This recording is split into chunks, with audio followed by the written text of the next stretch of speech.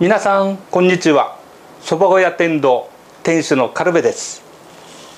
当店は自宅の倉庫を改装し9年前に蕎麦屋を開店しました。蕎麦は毎日手打ちし打ちたて茹でたての蕎麦を提供しております。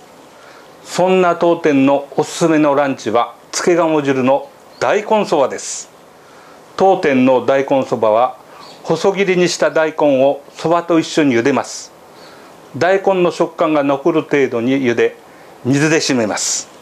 つゆはサバやカツオ利尻の昆布から丁寧に取っただしに1週間寝かせた海藻を合わせたやや甘めのつゆで具材は鴨肉とネギだけのシンプルなつけ汁です。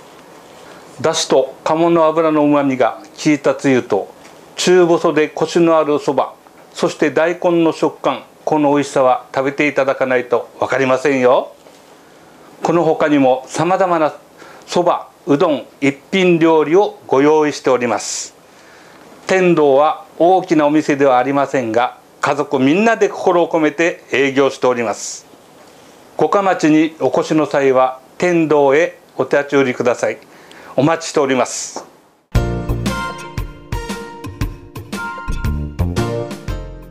はい地元です。しょっちゅう来ます。今日は天ざるそばです。美味しいですね。ご主人うんちょっと痩せた方がいいんじゃないかなって思いますね。大きなお腹して。でもそんなご主人作るそばは？美味しいですね。あの腹腹から出る底力ですか？美味しいですよ